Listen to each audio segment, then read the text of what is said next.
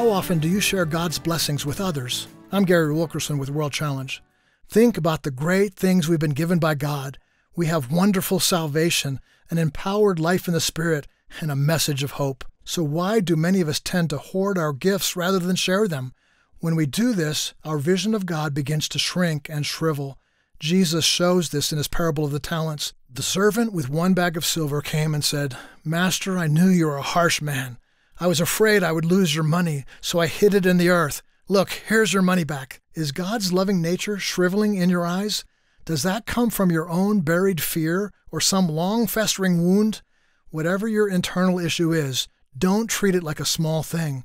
Make it your number one priority to deal with it. It will change your view of the Lord and it will unleash you to an abundant life. I'm Gary Wilkerson. If you'd like daily inspiration, sign up for our devotional emails at pray.worldchallenge.org.